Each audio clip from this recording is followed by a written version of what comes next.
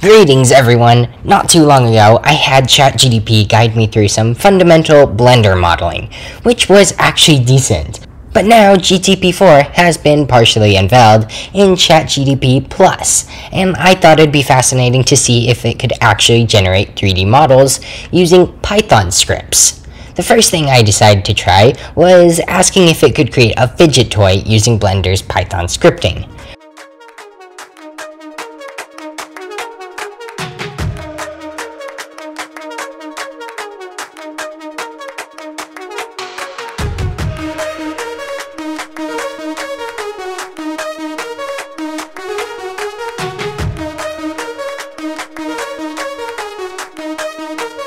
When it finished writing the script, I copied it and put it in Blender and hit run and got this unique result.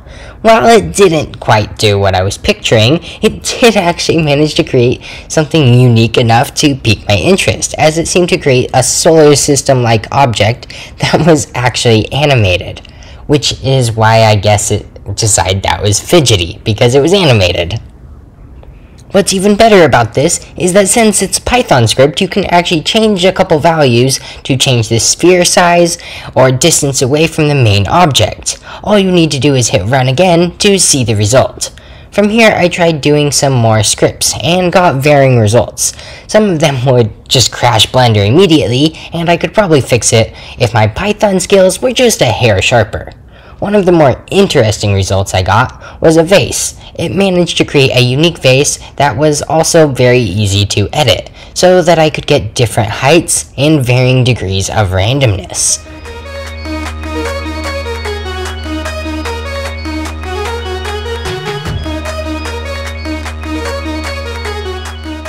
It was also kind of cool that it would delete the previous one every time you hit run, so it's just like you're editing the model.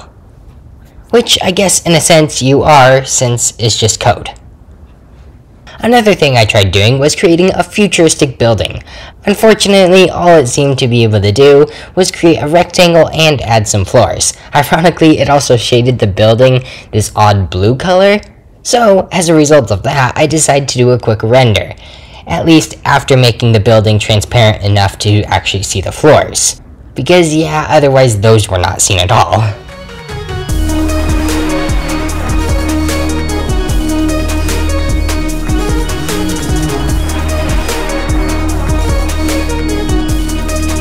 I ended up getting it like this. Another thing that I managed to get GTP4 to actually make was a sphere with holes in it. This script originally kept crashing Blender until I lowered the number of cuts to something that my system was actually able to handle.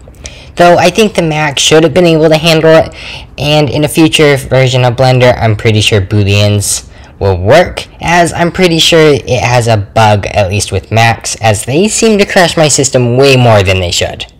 Now that I know it will work, I want to see if I can be more specific in the way I word things to create this basic wall that I just modeled up real quick.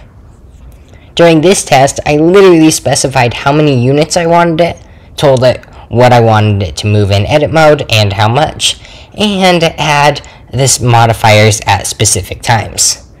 The first time I messed up and by not mentioning one of the times moving in edit mode, and as a result it actually created this the first time.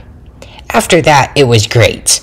Overall, while it performed admirably when given clear directions on the wall creation, and only stumbled when I messed up on the steps, the geometry node portion that I was hoping to get working unfortunately didn't go as smoothly. It seemed to attempt adding non-existent nodes in Blender without substituting them with alternative nodes that could achieve similar results.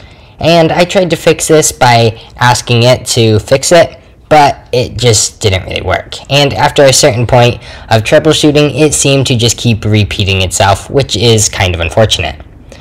Though really, I can't be upset as it literally turned my instructions into Python scripts, at least for the most part.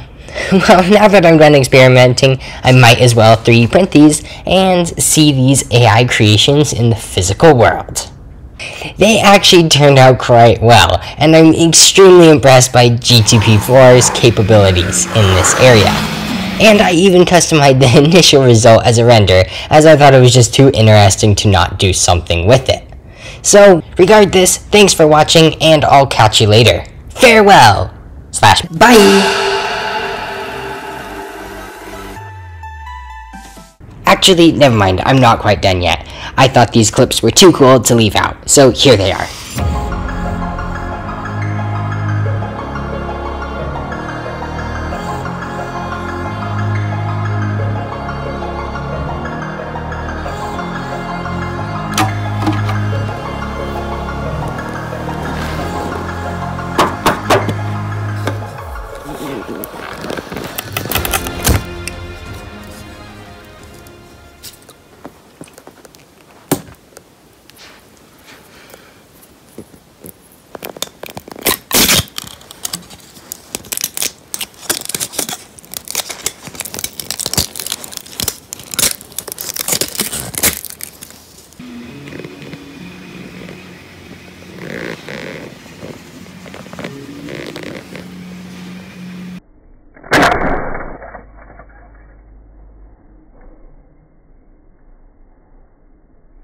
Haley